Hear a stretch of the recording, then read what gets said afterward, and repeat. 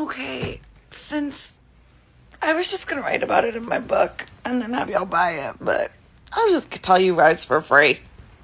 Um, first of all, the man, sorry, the man was being normal around me. And not only that, but the Kim Kardashian, the Kardashians, when I had a fashion line 10 years ago, they actually bought our clothes and sold them in her in their stores. And um, so I've always had like, you know, like a, a love for Kim, especially and like even Kourtney, especially like all of them pretty much. But no, like the big three Khloé, Kim, Kourtney, those are my girls. Anyway, so by the time me and him got together, it was like he hadn't been doing anything, you know, like out there yet. He, the only thing he had done was change the name in the song and said, like, come back to me, Kimberly. That was like really the only thing when we met.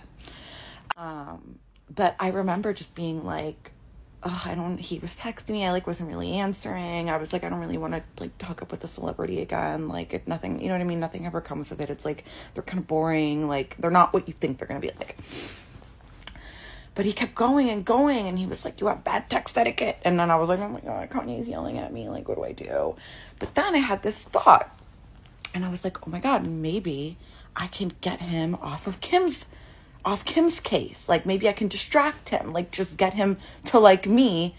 And I knew I was like, if anyone can do it, it's me because when I set my mind to something, I do it.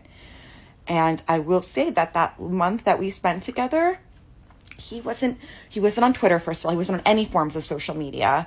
Um, he didn't even talk about his relationship. We only really talked about clothes and like weird ideas and plans for the future and our hopes and dreams for childhood and education. And like, it was really beautiful, guys.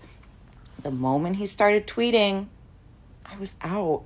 And that's the thing. It's like the media reported on our relationship ending like a week after it happened or something. So during that week, I think you guys all thought we were together, but we weren't. I'd already been like, dude, I'm not going to stick around for this shit. And also, I realized pretty quickly that he wasn't going to take my help. I was like, I want to help him. I want to help him. I sounded almost as dumb as you guys saying that I should have done something to stop him from saying, like, what? But anyway, I was delusional. I thought I could help him. Anyway, it didn't work. And now we're here. But uh, that being said, really deeply respect the man as an artist. I don't want to shit on that. I don't want to reduce his whole career to his really bad moments, you know. But that being said, I stand with the Jewish community. Period.